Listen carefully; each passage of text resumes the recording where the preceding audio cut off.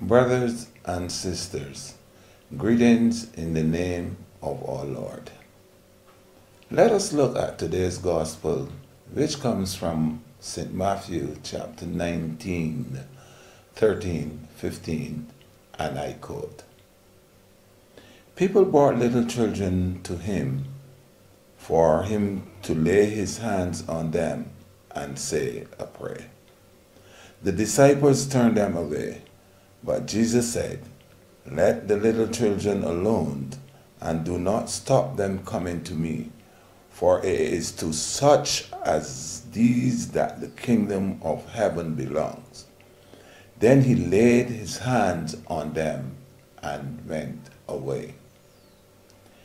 In today's gospel, we see people were bringing their children to Jesus but the disciples turned them away.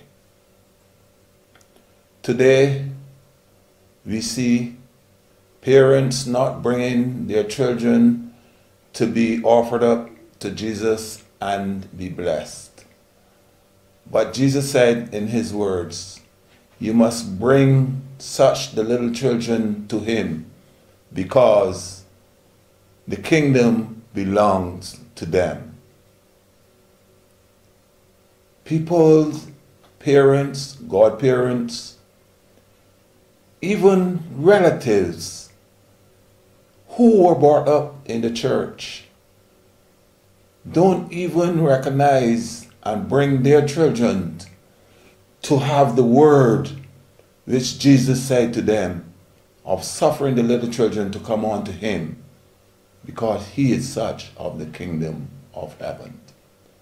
My dear friends, brothers and sisters, let us be honest and fair with ourselves as we bring the little children acknowledge that there are such as the kingdom of heaven. My dear friends, brothers and sisters, I thank you. Amen.